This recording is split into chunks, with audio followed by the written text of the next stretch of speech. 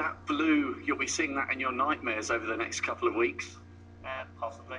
Um, I don't to say. It's sort of it's a weird match because I was always sort of way behind and come back into it a little bit today, but give myself far much too much work to do in the first two sessions. But even though I missed that blue, I'm quite proud of myself the way I fought back, didn't give up, and if, funny enough, I still fancied the job overnight, 15-9 down.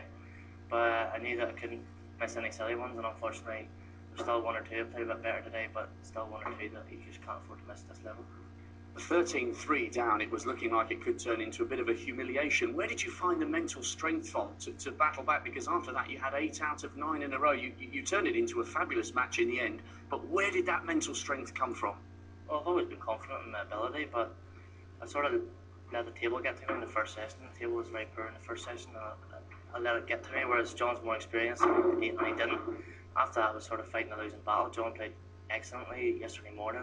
Uh, he scored very, very well, and I didn't do that much wrong to lose the section 7 1. But I'd say if, I, if I played the way that I have been the whole way through the tournament, then there's a chance we could get back into it. And unfortunately, I missed, uh, missed the chance to go 15 13 at the interval, and that could have been a big turning point. And obviously, missing the blue in that last frame was a big miss, too.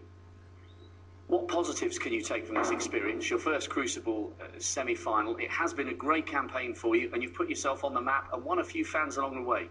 Well, that's what it's all about. At the end of the day, I'm here to win matches, but I'm here to entertain as well. And I've got a few neutrals on my side for the performance in this tournament, then all well and good. But definitely the positives have had, had a couple of good wins here and sort of went up the rankings a few places and uh, getting more and more confident in the big arena and uh, on the big stage and starting to bring my A game a little bit more regularly. So hopefully I can bring that in the next season. Unlucky this afternoon. It's been a joy watching you in this fortnight in the Crucible. Thank you very much. Cheers.